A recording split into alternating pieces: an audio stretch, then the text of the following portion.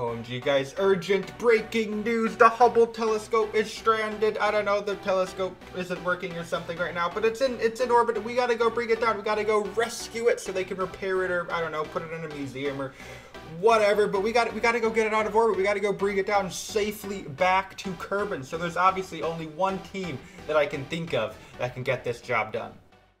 On a lonely planet, slowly spinning its Wait, no, wrong channel. No, that's that's that that's the wrong one. No, we we do starships here. That's kind of our our our thing. Yes, you know, Piolet starship guy. You know, right? The memes, the memes. Anyway, yeah. So we're gonna be rescuing the Hubble with the starship. Um, I figured this would be good timing for this type of video. Actually, I thought of it because I was looking on Twitter and there's, you know, the Hubble's been having issues lately. And if you're watching this at time of recording, it had the, the software issues, but I think it's back up online. But some people were saying, hey, you could just, I think Elon even commented on being able to like grab stuff out of board with Starship, which is totally a viable use case for this very epic grain silo that we have just launched right now.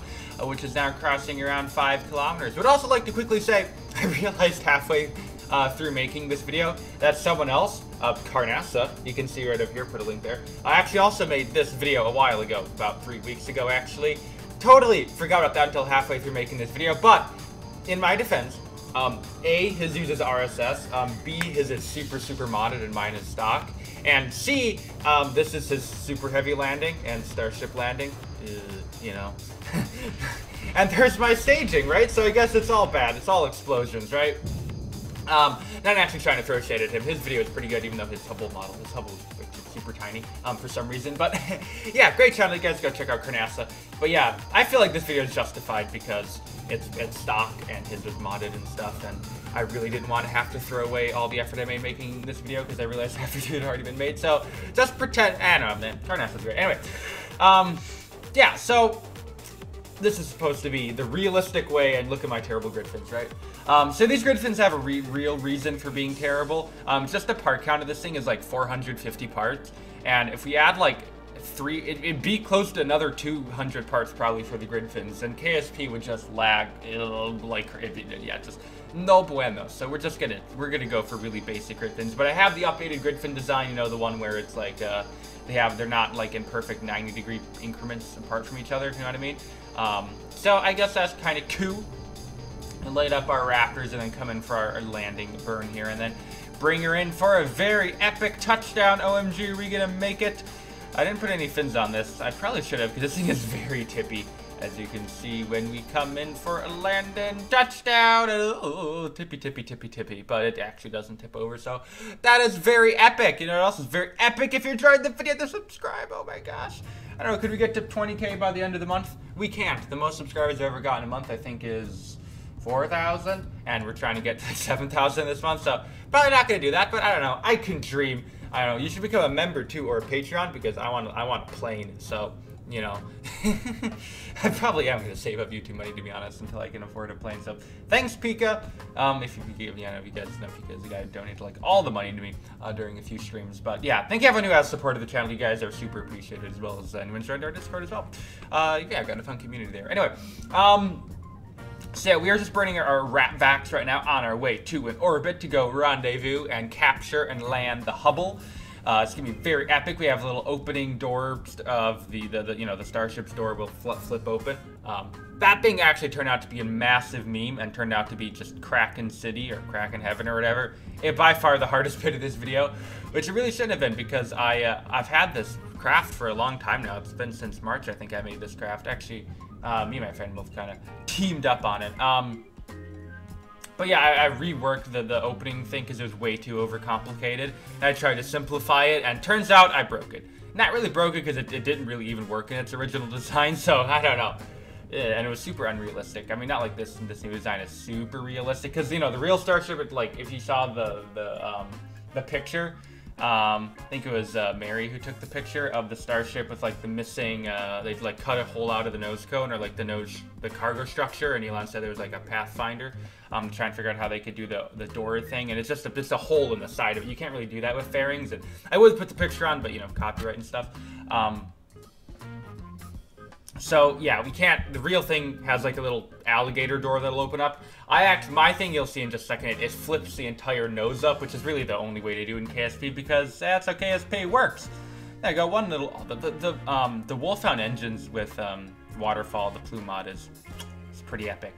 But anyway, we're now getting ready to do our Rendezvous with our Hubble. Um, and then ignore the giant debris field you may see during certain shots during this uh, docking process.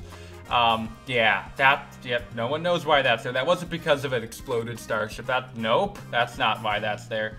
Uh, so I'm gonna go ahead and drain the fuel out of our top tank there in the nose cone just because it needs to make it a little bit lighter because the hinges really have a tough time. Um, and yeah, it, this thing is really cracking. So go ahead and unlock them and then open and Oh, there it goes. It opened. It can be a little bit scary. I forgot to turn off SAS. SAS needs to be off during this, but or else it's going to try and turn while you're opening it, and then it's just going to explode itself. But here's our Hubble, our very epic Hubble, which I don't know, needs maintenance or something, or needs to get a museum. Here I am going to double check my action group, because I forgot what action groups I set up, and then proceed to fail immediately at using the action groups. Um, so, um, yeah, so we're going to go ahead and get our uh, cold gas thrusters on the Hubble turned on, and then we can start making our way over towards the big giant crane silo. Very Okay, and, and I'm still trying to figure out how to use the action groups, even though I made this craft like an hour prior to filming the video. So there we go. There we go. I don't know if the solar panels can retract in the Hubble, but in this one they can. I mean, it could fit um, with the solar panels extended, but it'd be kind of weird because I feel like during reentry, when you're pulling like 5 Gs or whatever, the solar panels would probably snap off.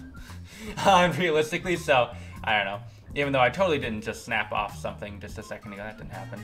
Um, but anyway, um, so we're now going to consider uh, kind of coming in at for a very ridiculous type docking, and we can uh, bring her aboard the uh, aboard the aboard the starship there and line her up, and I'm proceeding to fire my thrusters in the wrong way. There, now we're working it out. And we can start to fire them in the you know correct direction. And uh, actually start making our way towards the ship and then inside of the docking bay or the payload bay or whatever. And then we can get ready to do our deorbit burn and then our landing with the Hubble inside is gonna be super epic. Definitely won't be any explosions. If anyone says there's gonna be explosions they're lying to you. There will be definitely definitely no explosions I don't know what that's supposed to be. But anyway, um, kind of cool shot if it kind of starting to make its way inside of the payload bay. We don't want to hit any of the walls. That'd be very bad. I mean, anyway, here we go. Going to go ahead and kind of miss the docking port initially. Um, and then we will uh, just kind of do a little bit of correction, and then we will get ourselves kind of whacking into the side. I'm totally sure that's how they do it in real life. That definitely just like smash the payload into the side of the... I bet the ship will need maintenance by the time it comes in for a landing. But anyway, here's our docking. Playing one time speed. I know the frame rate is not great, but you know, that part count, right?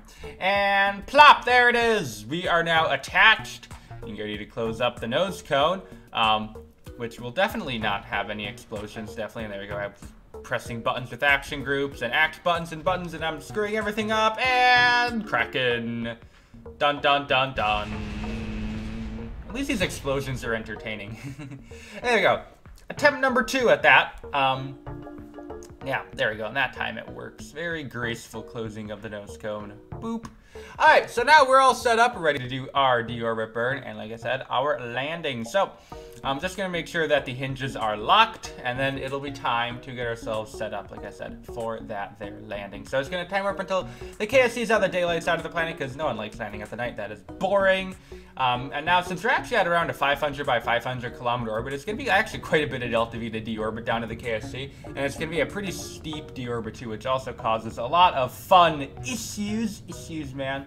Big issues. Bad, big issues, right? You'll see in a second what I mean. Um, so there you go, coming in through 300, 200, one, of a little bit of an eclipse there, which is kind of nifty. But here we are. You can see how steeper coming in here. This is, I mean, we're just, we're over the KS, like, little peninsula that the KSC is on right now. And we are not even out of space yet. So, and we're going 2,500 meters a second. So, just a jolly old time here.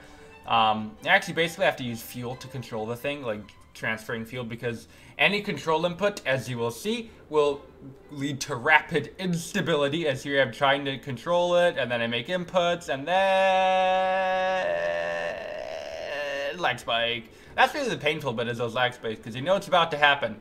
You know, you know what's about to happen, and it's not going to be fun. Wee explosion! Okay, so let's try that again. So basically, the way I had to do this was basically, so first of all, I went for a little bit flatter of a pitch, just to try and arrest the descent rate just a little bit. And then also, I just I didn't make any control inputs there. Once we started getting to the high G portion of the entry, I just let the just basically rolled with it, and whatever happened happened. That those fids, I honestly thought were gonna fly off, but they didn't. Think yeah, I think the Hubble was actually what was blowing up because it was a nose cone. I think that was detonating. Detonating. You can actually see it starting to kind of like clip through the thing. I think it was something might not have been auto strutted or something, or maybe the docking port just couldn't hold the two together. But anyway. Um, because of our little bit flatter of a descent angle, we have overshot the KSC a little bit, but luckily in KSP, starships work like planes for some reason, so we actually can glide ourselves um, back towards the KSC. A little bit of a balancing act here because you want to be able to get horizontal speed during the belly flop here, but you don't want to get too much because then it's going to be really hard to do the flip because you'll be like flipping or like flying 100 meters a second and it'll just, ugh. um, so, um, I mean, let's just say I didn't get this first attempt. It'll be painfully obvious when you see a quick save. A very, a very bad. Try, I didn't even try to mask it. You'll see I make a quick save and then it'll like jump weirdly, and it's like, whoa! I wonder what happened there. Um, here we are. So yeah, um, we're coming in basically right next to the spaceplane hangar. I chose as my landing target. Seemed like a pretty cool place to go. We're coming in basically almost uh, canceled out most of our horizontal speed at this point, and we are going to light up the three Raptor engines. Go and do our flip maneuver. And then once the flip maneuver is complete, we are going to lose a little bit of speed and then drop down to just two Raptor engines for the final portion of our landing burn.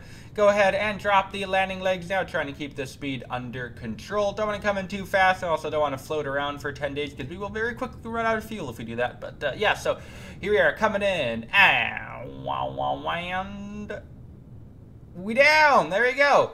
Pretty butter landing, if I do say so myself. I don't know, maybe you know, start to see that eclipse starting to move in. KSP's lighting kind of breaks when the eclipses start, but whatever. You know, it's like a 10-year-old game, so I, you know. Um, anyway, um, you go ahead and fly inside. You can see the Hubble is now safe and secure in the Starship. So that means our mission is complete and we can end the video. So big thanks to all the channel members. Big thanks to all the Patreons. I'd like to thank you all very much for watching. I'd like to see you next time. Please rate or comment to the video. Once again, thank you for watching. Until next time. And bye.